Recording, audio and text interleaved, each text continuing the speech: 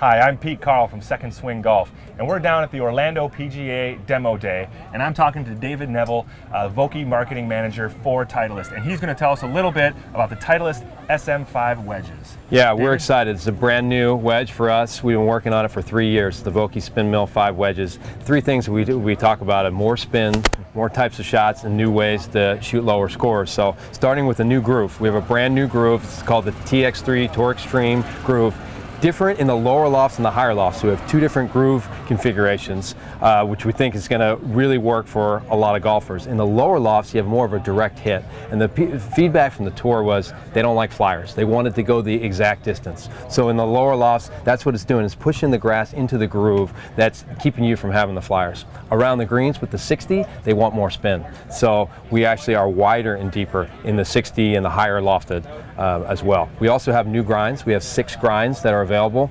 21 models and three finishes with six grinds. So there is something for everybody. The new grind that we have uh, that's featured is the K grind. That came from Bob's work with Adam Scott and Jason Dufner on the PGA Tour. Adam used it to win the Masters. It's actually a high bounce, but a wide sole with camber. We have it here in the in the 58 so Adam used it at Augusta, which has the tightest conditions in the world, but was still able to hit all the shots that he wants. Very forgiving out of the bunker. We think people are gonna gonna love using that out of the bunker. So that that's one of the, the, the grinds that we have in the lineup. We also have three new finishes, so we're excited about that. We've got a new Tour Chrome, which is slightly brighter.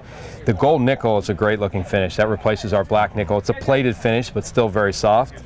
And then we have our raw finish, which is a raw black. And that's a QPQ finish. So it will rust over but it tends to go more silver. It's more durable than our oil can. So when you look at that, the lineup that we have, the number of models, the grinds, the feedback from the PGA Tour, we're really excited to launch the new TX3. Absolutely. Well, there you have it. Vokey, the most recognizable name when it comes to wedges, and the SM5s just add to the wonderful, rich tradition that Titleist brings to their wedge game.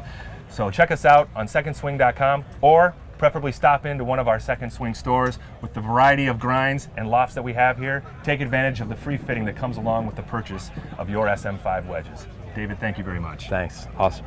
Enjoyed it.